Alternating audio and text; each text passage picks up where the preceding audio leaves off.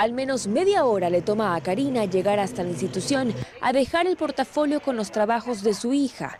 Institución que luce así, sin bancas, sin paredes, sin baterías sanitarias.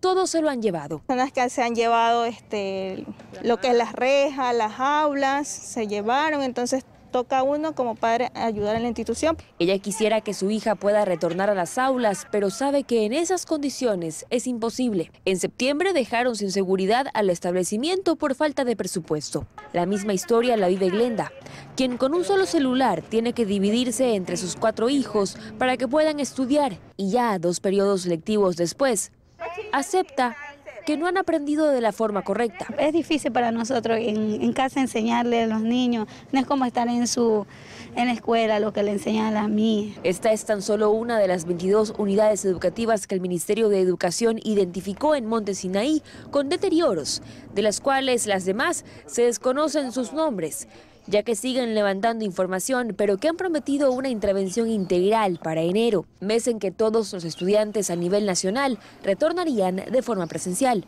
Jamás hemos tenido algo digno que nos hayan dejado, queremos que regresen, pero que regresen con las instituciones ya arregladas, en una buena infraestructura. Este viernes, la ministra María Brown dará a conocer el plan de contingencia a tomar en planteles deteriorados, con una inversión aproximada de 650 millones de dólares. Valerie Villalba, 24 horas.